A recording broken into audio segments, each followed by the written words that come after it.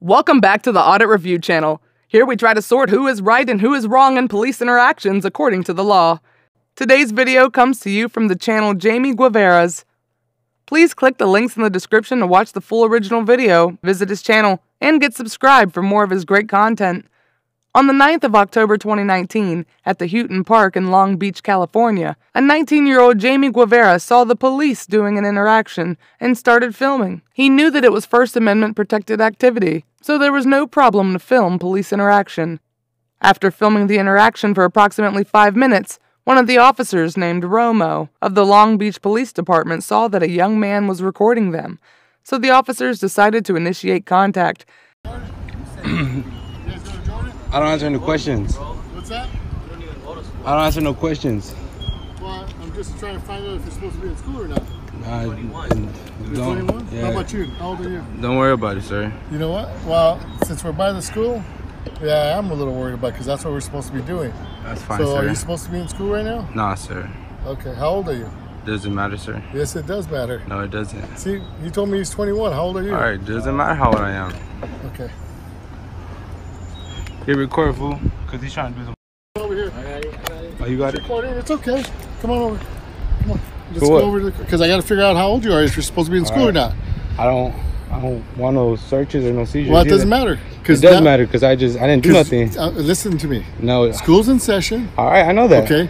You look like you're supposed to be in school. Well, I'm not. Well, then how old are you? Does it matter? Yes, it does. No, it doesn't. Yes, it does. You came over me because I'm recording you. that has nothing to do with it. You All right, then why you- young. why you- I'm telling you why. You're harassing me right No, now, sir. okay, come on. Let's let's come on over here. Come on, let's go over here. Nah. Let's walk over here. All right, for sure.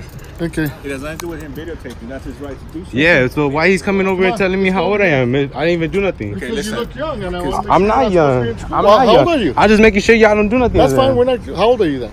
I'm I'm old. See, I'm I don't know. You got ID to prove it? I do have an idea, but Okay, I'm not gonna show you. I didn't do no. All right. I, this, Come on. I ain't do let's no go. crime. No. I know, but until I find listen, out, Listen, you're not listen, supposed to be in school. Whole thing. All right, I'm, I'm 19 there. Okay, where's your ID? have to I don't prove have it. ID. I don't gotta provide ID if I ain't do no crime.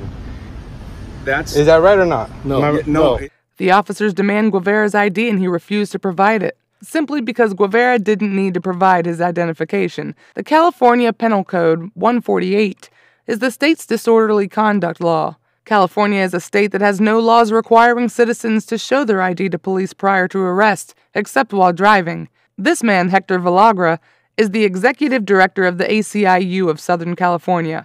According to him, some police officers use this code to arrest citizens who refuse to identify. They use the doctrine of the 2004 U.S. Supreme Court case of Hiibel versus Nevada. But he explained that the Hiibel doctrine applies only to those states that has a law with stop and identity. It does not apply in states without failure to identify laws like California, because in California, no law says that citizens are required to show their identification. But police officers may still investigate citizens if they have acquired reasonable suspicion of committing a crime. However, Guevara was not violating the law by refusing to give his ID. It isn't. it I'm isn't- not, it's isn't- Listen, No. let- let- if you Listen. okay, Can I have if you your, let, if you your let, name and your badge number? it's right there. And your you badge me- number? It's five six four one. Your name, Five, badge three, number? seven, seven. All right. Now, what is your name? I don't have to I just provide. asked you. Listen, I understand. I don't have to provide name. I didn't do nothing wrong. In your opinion, you didn't. In our opinion, you did. Like what? Okay. Saying First not. all- no, saying thing not called- what? You gonna let me finish? You're gonna interrupt me. I don't know, cause you're. Okay. Well, You're I can't. I can't answer your question. He came up to interrupt me Yes. for no reason. No, I had a reason. What was the reason? You reason? look kind of young. I'm look not like you're supposed young. I I'm don't about to go to You look- work. Okay. Well, then, can you prove it?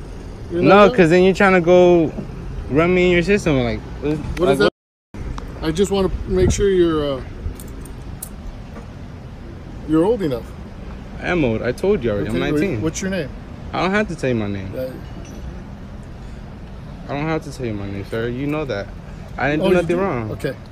Let me let me explain something to you. You can explain everything you Okay. want, sir. We can do this real quick. You have quick. a body cam on? No, you guys don't. No. You see, now it's more sketchy now. You see, Why I don't want to. You you have you, your video. you just grabbed me and took me over here. yeah. Uh, you Yeah. know? I'm trying to get you over to my car. I don't want you. I'm. We're fine Well, right here talking. Then, then, okay, then just show You- me you- your ID or I don't. tell Got, me I don't have. I don't gotta show you no ID. Yeah, you do. For what? For what I just, crime? I just explained to you. I'm not. I just told you. He told you he's 21. The crime of daytime Hey, loitering. they, you with no, them. no, I'm with you. I'm doing what, what did you. I do? Daytime loitering. Oh, daytime loitering. Yeah. Wow. Juveniles, daytime loitering. So I got to figure out that you're That's now- right. How are we loitering? Section 95820 of the Long Beach Municipal Code creates a daytime curfew for minors who are subject to compulsory education on days when school is in session. Officer Romo tried to establish that he was violating the loitering code. For that, he must be able to articulate specific facts that led him to believe that Mr. Guevara was in violation of the loitering code. He's in his youth and was so close to the nearby high school, but that doesn't mean he's a student of that school, when he himself was saying that he is not a student. After some time, the police officers arrest Guevara. However, after confirming his age, the officers release him without any charges.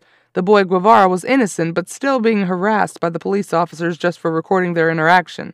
Guevara was alleged by the police officers to violating the loitering code, but as the allegation was false eventually, he got released.